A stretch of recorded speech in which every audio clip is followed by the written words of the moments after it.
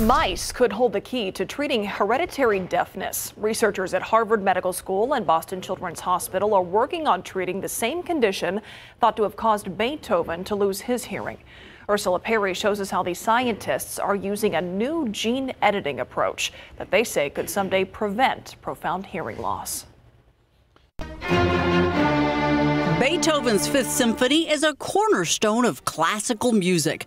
Hard to believe the composer himself was almost completely deaf from a genetic condition when he finished it. The children are born fairly normal, but then over 10 or 20 years, they lose their hearing. Now, these aptly named Beethoven mice might hold the key to a potential cure.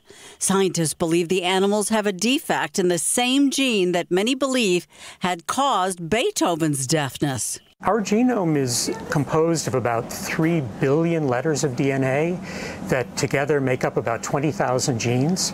For the disease we're studying, one mistake in the DNA in one of the genes causes deafness. Researchers identified that hearing gene called TMC1. It's a gene that comes in pairs.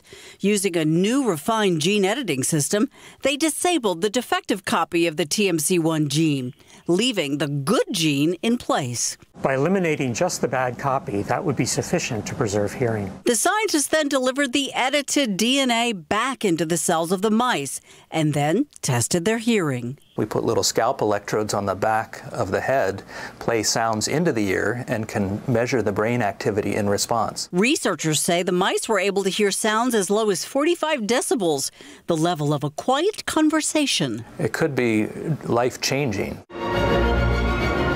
A famed composer, his namesake mice, and a team of scientists using cutting edge medicine to help people who would otherwise go deaf hear again.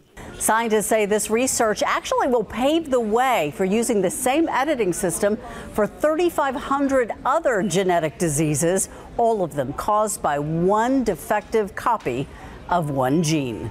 Ursula Peri, KSAT 12 News.